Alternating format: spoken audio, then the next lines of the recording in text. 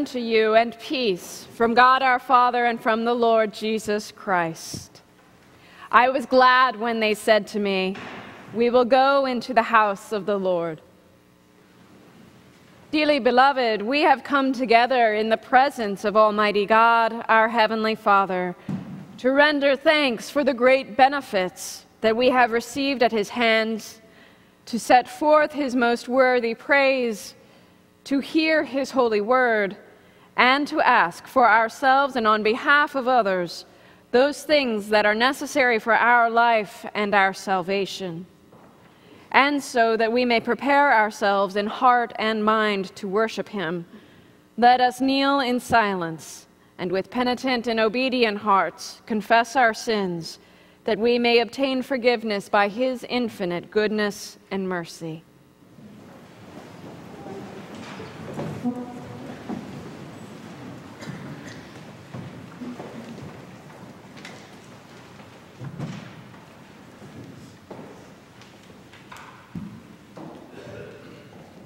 Almighty and most merciful Father, we have erred and strayed from thy ways like lost sheep.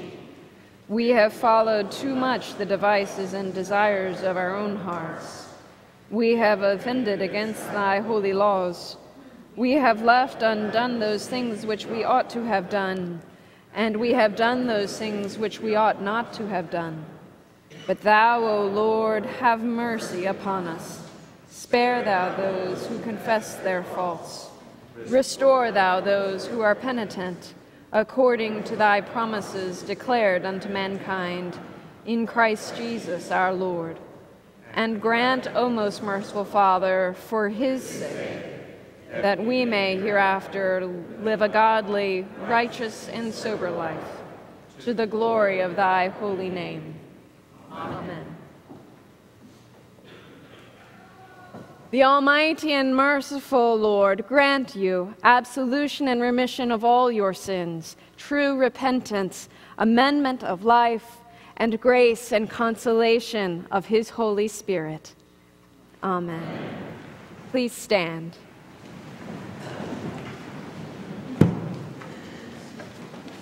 O Lord, open thou our lips. And our mouth shall show forth thy grace. Glory to the Father and to the Son, and to the Holy Spirit, as it was in the beginning, is now, and will be forever. Amen. Alleluia.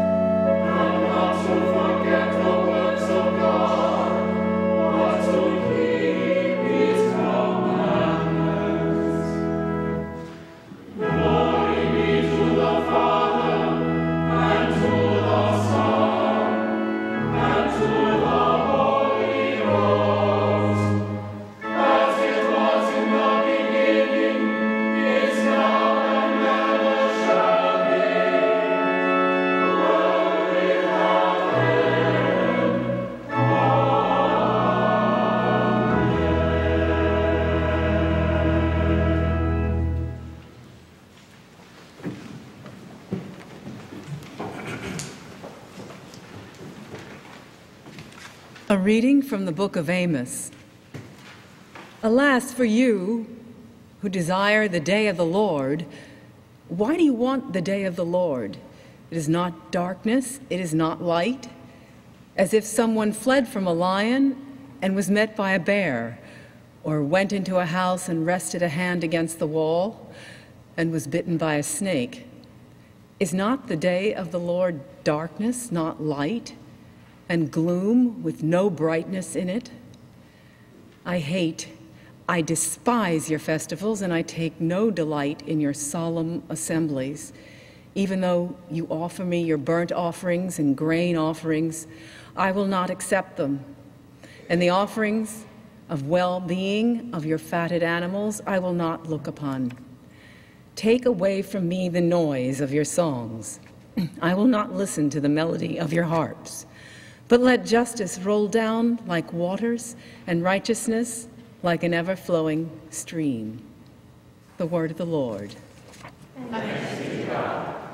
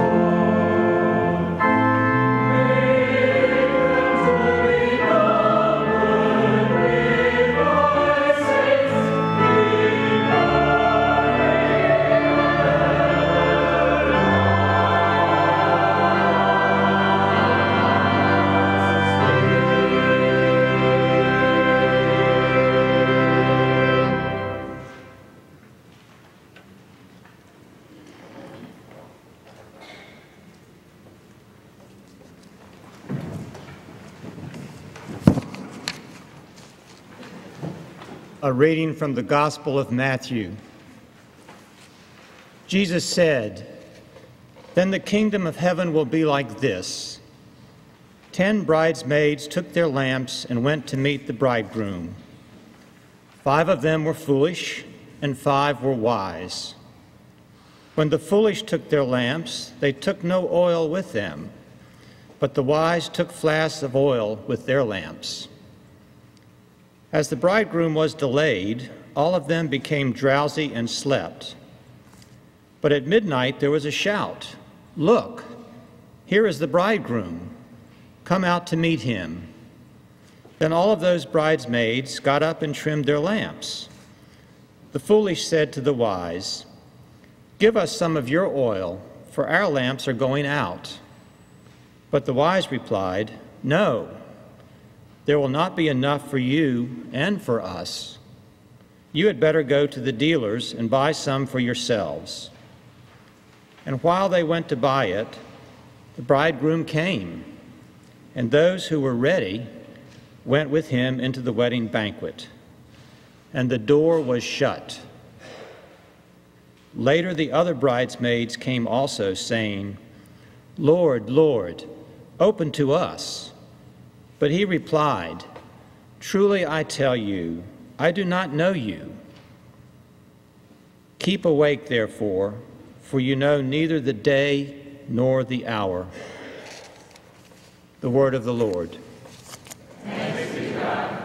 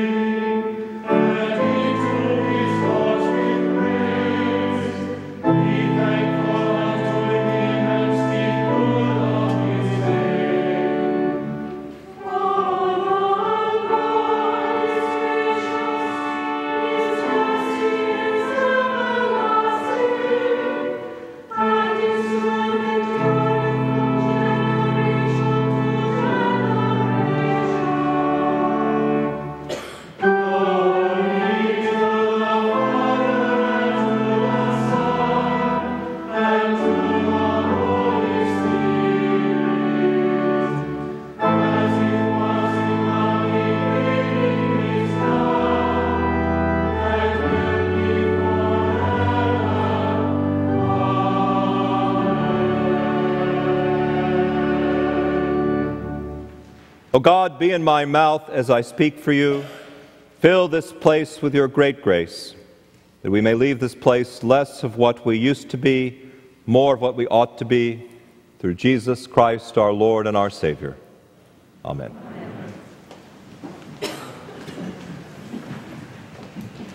Jesus said, The kingdom of heaven will be like this. Ten bridesmaids took their lamps and went to meet the bridegroom. Five of them were foolish, and five were wise. When it comes to our family vacations, I generally have let my daughters choose the television programming.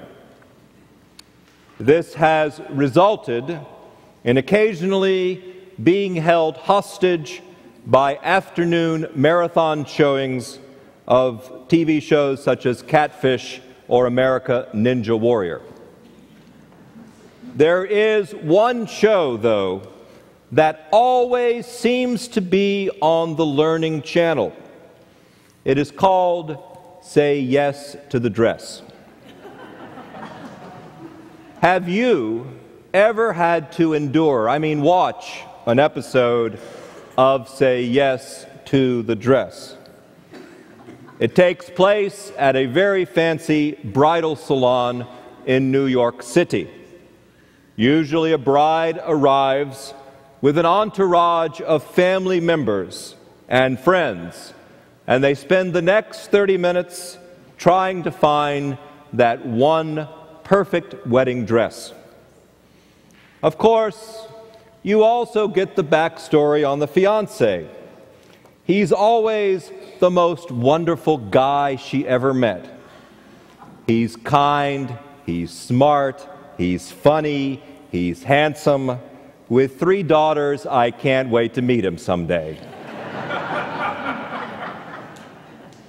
anyway, my daughters give me various instructions about how I'm not going to be allowed to go shopping. It'll be Cynthia, their sisters, a maid of honor, or best friend. I won't be able to say yes to the dress until the day of the wedding. Although I guess at some point I'll be saying yes to the bill. Just between us, after several years of watching the show, I've actually gotten pretty good at figuring out which dress she's going to choose. I don't say this to you with any sense of pride, but at some point, as a dad, you just have to throw in the towel, admit that after several hours of watching, you're worn down and you actually begin to care which dress is going to get the yes. Now, my vacation viewing habits on the Learning Channel might seem like a curious place to start a sermon. But a parable about bridesmaids and weddings got me thinking about the marriage customs in Jesus' time. And just as various customs, for better for worse, such as picking out a dress, are part of our present cultural landscape, we should want to know more about how Jewish weddings took place in our Lord's day. Knowing these customs not only give us a historic context for our story, they can give us some further spiritual insight into the parable, especially when the parable shows a side of God's kingdom that makes us uncomfortable or seems to be at odds with Jesus' usual words about God's love God's compassion and God's forgiveness. It is jarring for us to hear that the door has been shut and the Lord says, Truly I tell you, I do not know you. So, what do we know about the, Jesus, the Jewish customs in Jesus' day? Generally, there were four steps that made up the process of getting married. And fortunately, none of them involved a trip to the bridal shop. The first step was called the betrothal. This involved the prospective groom traveling from his father's house to the home of the prospective bride. He paid the purchase price and thus established the marriage covenant. You might recall that Mary was betrothed to Joseph in Matthew's gospel when they found out that she was pregnant with Jesus. Joseph had planned to divorce Mary quietly, which you could do at this point in the process. But then you may remember an angel comes to him in a dream, and well, I guess you have to wait till Christmas to find out the rest of the story. Also, a brief word to you on bride price. While it's easy for us to sit here today and say the groom was buying his bride, in Jesus' day, the bride price acknowledged that the woman was an important and a vital contributor to the family. For her to be taken away from the family was for the family to lose someone whose contribution was invaluable. The price in Jesus' day recognized the woman's contribution. To not pay it was to say that she was worthless, and this would have been considered an insult both to the bride and her father. The second step of the marriage process is an interesting one. After the betrothal, the groom would go back to his father's house to prepare a room for his bride, or he might build an accommodation, another house next to his father's house. The groom would either build it himself, or if he came from a wealthy family, he would supervise the construction. This also meant that the bride and groom might be apart for a period of time up to 12 months. And the bride would never know how the construction was proceeding on her new home or when the wedding feast might happen. And this gets us back to the circumstances of our parable this morning. In the third step of the marriage ritual, the groom comes for his bride, and this coming was a secret, and it was meant to be a surprise to the bridal family. They did not know when the groom would show up with his entourage to claim his bride and fulfill his terms of the marriage covenant. Hence, you have the bridesmaids waiting outside the father's house once they got the word the groom had gone to retrieve his new wife. The fourth and final step of the marriage is the party, it's the celebration itself. The groom would return with his bride and entourage to his father's house and their new accommodations. They would consummate the marriage, and they would celebrate a wedding feast that would last seven days. A seven day feast helps explain why they may have run out of wine at that wedding in Cana of Galilee where Jesus performed his first miracle. But as evidence from these traditions, wedding celebrations were a lot more complicated than simply going to New York to find a dress. This four step process, though, I think helps flesh out the parable a bit and gives us a fuller understanding of the backdrop of Jesus' story. Jesus always knew his audience, and he knew they would hear the story in their own cultural context. Our present church tends to hear the parable simply as God being judgmental and harsh. But I believe we should be careful, or we should be a bit more nuanced in our criticism of Jesus' words. So, what steps do we need to take this morning together so that we can say yes to the parable? First, while we tend to focus on the five foolish bridesmaids, we should not forget an important character who's working off stage, and that's the groom. It is the groom who has done all the actual work in the story. He is the one who has asked for the bride's hand. He has paid, paid the bride price. And he has spent the past year building an addition to his home and getting ready for the marriage feast. He has made a covenant that includes the bride, her family, his own family, and their friends. If we see the groom as Jesus, it is clear that our Lord has taken steps so that everyone, everyone will be included as part of the celebration. Every single person living around the groom's home or the bride's home knows that a wedding is coming. They know where the celebration is going to be. They even know what they have to do themselves to be ready for that party. While the actual day and time might be a bit of a surprise, I suspect that with a little bit of gossip in a small town, there were actually very few secrets, very few secrets that could be kept about the timing of the feast. In other words, I think the bridesmaid arrived knowing, they arrived knowing when the groom is going to be there. He may be a few hours late, but the wise bridesmaids would have known it took time to go from point A to B in the dark, and they would have been ready for this. So, why were the other bridesmaids foolish about their supply of oil? Well, this question's a bit harder to answer. The Greek word for foolish can mean dull or sluggish, but it may also imply that the individual person is more of a scoundrel and has no moral standards. We tend to think of foolish in our present day as someone who's just simply harmless, a fool. But Jesus' use of the word in the parable might mean that the five foolish bridesmaids have chosen the easy path. They do not know the Lord because they have made choices in their lives that have separated them from God's love and God's compassion. God does not know them because they have chosen not to know God. In other words, you might say they have chosen to say yes to themselves and not yes to the Lord. The second point that should not be lost on our modern ears is that our parable occurs in a section of Matthew's gospel after Jesus has said some very harsh words about his opponents.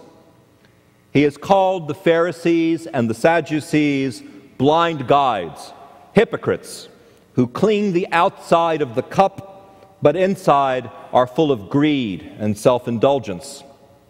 These are the leaders, my friends, that sit on Moses' seat of power. They've been entrusted with the sacred law and are, by tradition, spiritual guides that should be helping the common folk find their way to a closer relationship to God and eventually an invitation to that great marriage feast. They have chosen to betray this trust. And one way to understand our parable is to hear our Lord saying to those people, those who have kept others from enjoying the celebration, those who have been in the way of others, he says one day they will indeed pay a price for their spiritual snobbery, their arrogance, their foolishness. So, finally, what's our takeaway from this morning's lesson about the wise and the foolish bridesmaids? Once again, I think it's important to emphasize that a life in Christ is about celebration. Time and time again in the Gospels, our Lord returns to stories about great feasts, great parties. Jesus wants our life with God to be a life of service to others, but it is to be a joyful celebration of the blessings God has given to us. But in order for us to say yes to God, we have to say no to the values of this world. We have to say no to our greed, our selfishness, our hypocrisy, and our hate. There is, in fact, plenty of oil for those lamps, but we have a choice of whether we decide to take it. We have a choice about whether we are going to be prepared for the bridegroom's arrival. And God is not going to take away our free will. And God is not going to make that choice for us. In fact, as the Christian church, we have an even greater responsibility. We know when and where the feast is going to be held each week. It is found around this table, this altar. It is found through the body and blood of our Lord. It is a feast meant for all God's people, the wise and the foolish. But the foolish have to choose to be here. And we have to make sure that as part of the religious establishment, we don't keep others from sharing in that wonderful celebration. In another part of Matthew's gospel, Jesus says these words Come unto me, all ye that labor and are heavy laden, and I will refresh you. Take my yoke upon you and learn from me, for I am meek and lowly in heart, and ye shall find rest for your souls. This is our invitation to the marriage feast. This is how we should understand what it means when we invite others to join us and to share in this great celebration.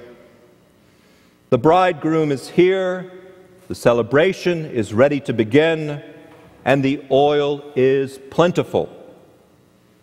But are you ready to say yes? In the name of the Father, and of the Son, and of the Holy Spirit. Amen.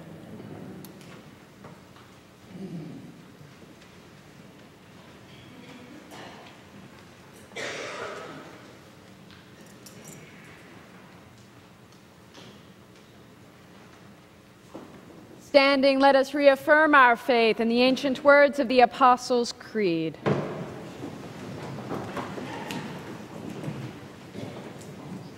I believe in God, the Father Almighty maker of heaven and earth, and in Jesus Christ, his only Son, our Lord, who was conceived by the Holy Ghost, born of the Virgin Mary, suffered under Pontius Pilate, was crucified, dead, and buried.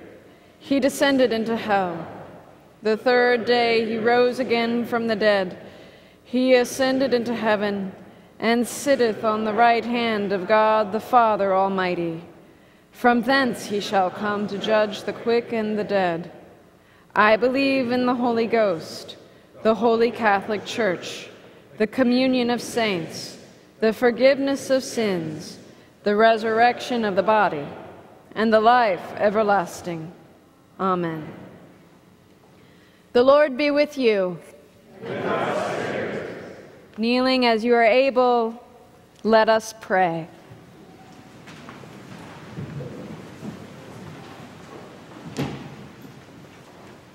Our Father, who art in heaven, hallowed be thy name.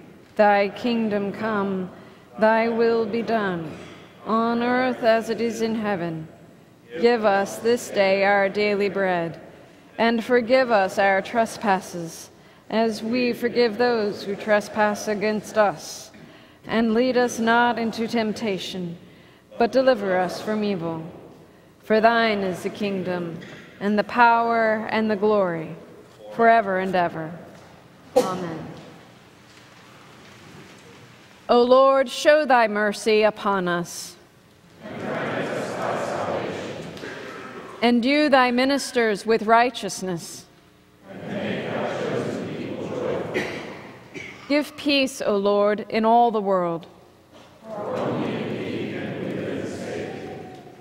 Lord, keep this nation under thy care. Let thy way be known upon earth. Let not the needy, O Lord, be forgotten. Create in us clean hearts, O God.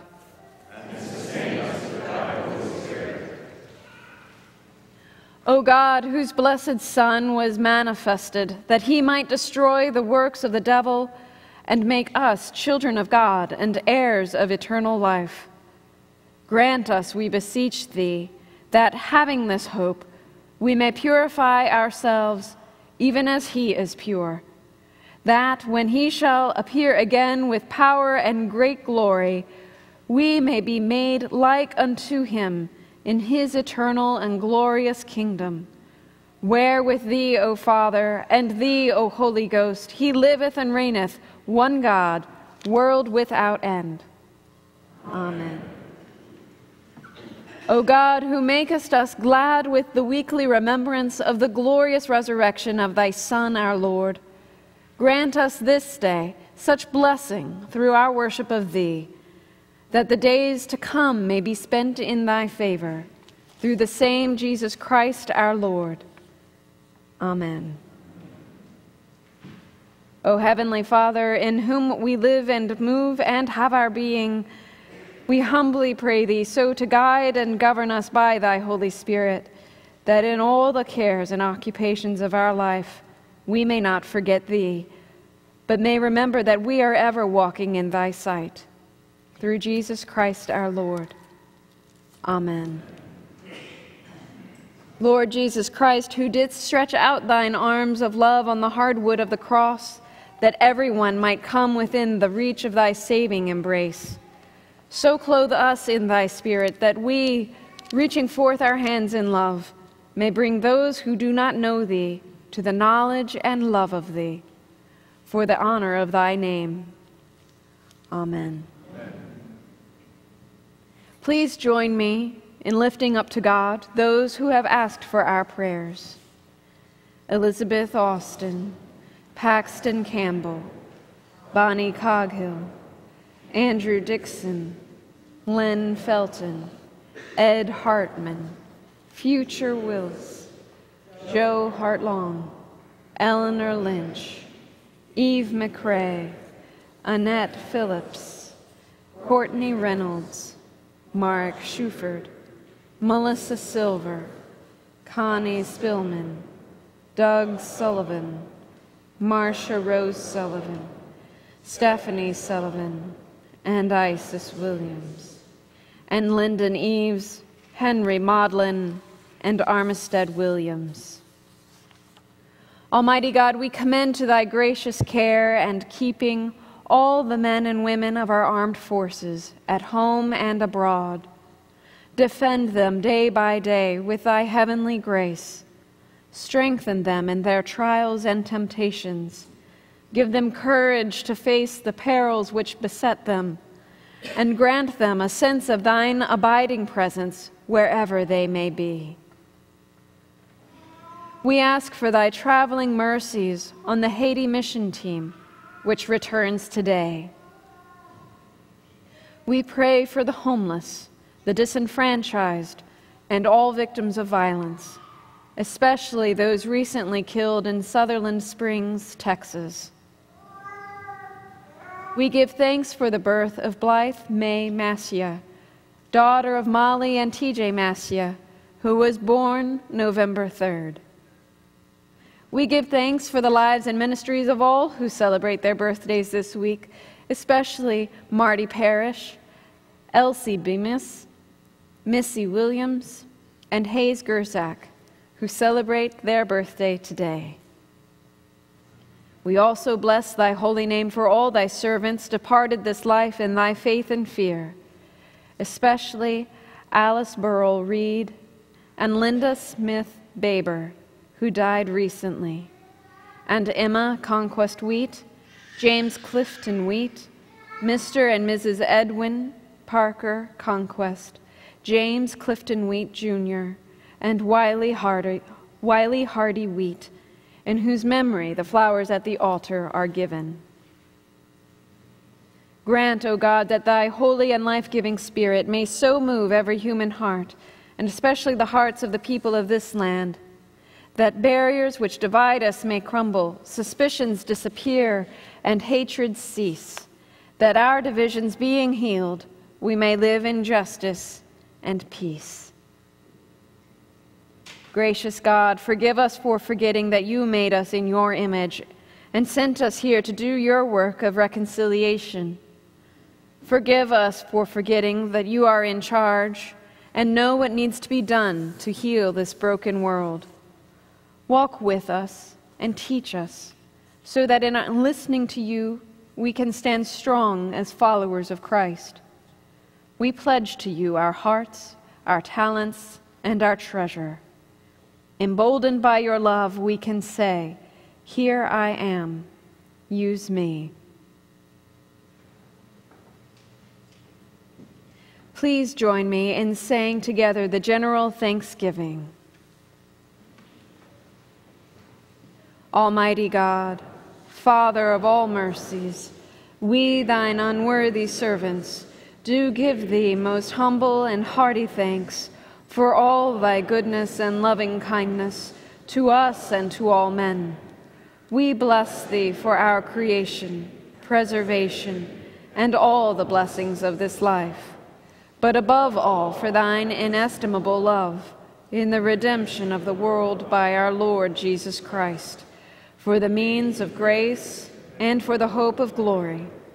And we beseech thee, give us that due sense of all thy mercies, that our hearts may be unfeignedly thankful, and that we show forth thy praise, not only with our lips, but in our lives, by giving up ourselves to thy service, and by walking before thee in holiness and righteousness all our days through Jesus Christ our Lord, to whom, with thee and the Holy Ghost, be all honor and glory, world without end.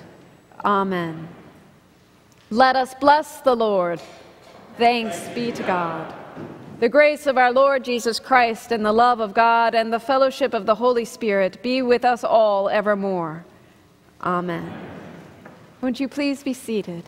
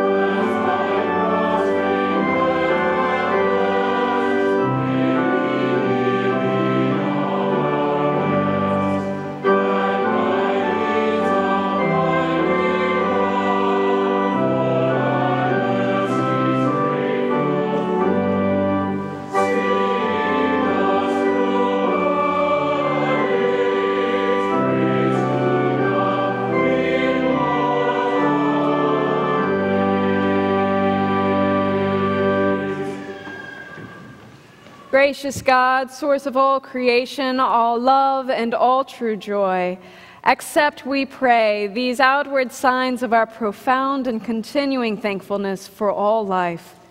Keep each of us ever thankful for all the blessings of joy and challenge that come our way. Bless those who will benefit from these gifts through the outreach of the United Thank Offering. This we ask through him, who is the greatest gift and blessing of all Jesus Christ. Amen. Amen.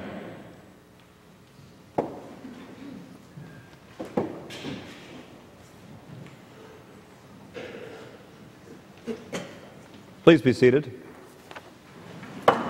Good morning. Welcome to St. James's. It's a pleasure to welcome you, especially if you're a newcomer to our parish. Uh, just an encouragement to please fill out a pew card and introduce yourself to the clergy following our service and we can also help you find a welcome packet back in the narthex. Uh, the Chimes is full of lots of information this week and opportunities to be of service to others, so I encourage you to take it home and look at it carefully.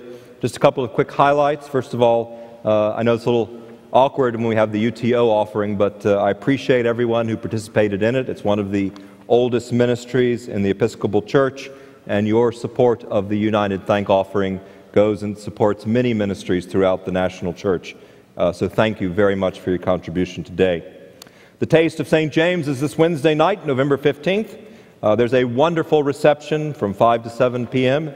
in Valentine Hall. Please come by to purchase soups, hors d'oeuvres, gourmet baked goods, and you may also pick up your pre ordered casseroles.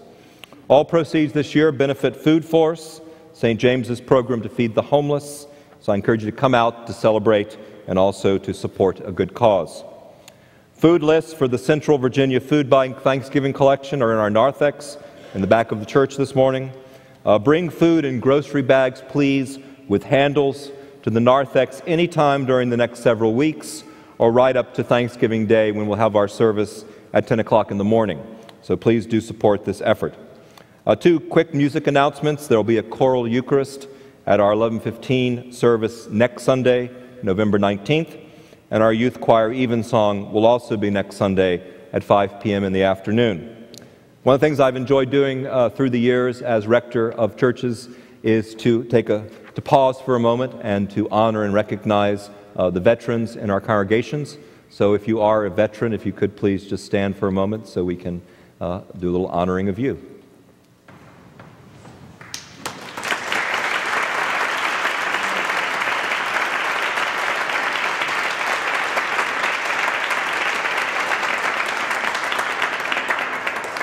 Thank you for saying yes to our country. Walk in love as Christ loved us, gave himself for us, an offering and a sacrifice to God.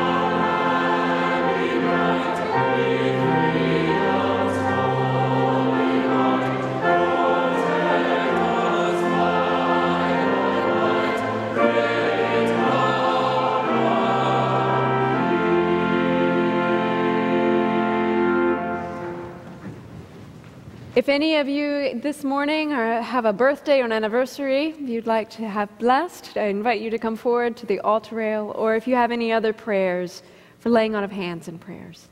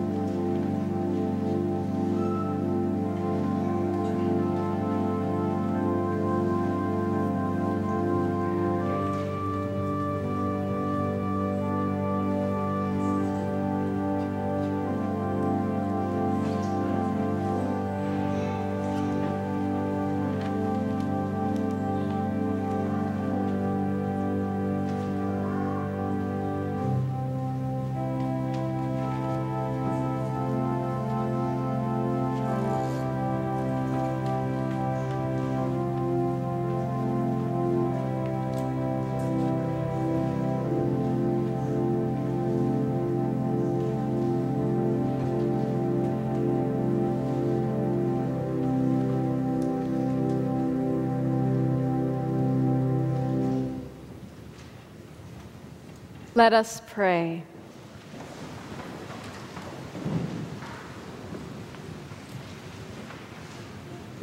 Almighty and everlasting God, from whom cometh every good gift and every perfect gift, send down upon our bishops, our clergy, and upon the congregations committed to their charge the healthful spirit of thy grace, and that they may truly please thee, pour upon them the continual dew of thy blessing. Grant this, O Lord, for the honor of our advocate and mediator, Jesus Christ. Amen. Amen. Almighty God, who has given us grace at this time with one accord to make our common supplication unto thee, and hast promised through thy well beloved Son that when two or three are gathered together in his name, thou wilt be in the midst of them. Fulfill now, O Lord, the desires and petitions of thy servants as may be best for us, granting us in this world knowledge of thy truth, and in the world to come life everlasting. Amen. The peace of God, which surpasseth all understanding, keep your hearts and minds in the knowledge and love of God and of his Son, Jesus Christ our Lord and the blessing of God Almighty, the Father, the Son, and the Holy Ghost be upon you and remain with you this day and always. Amen. Amen.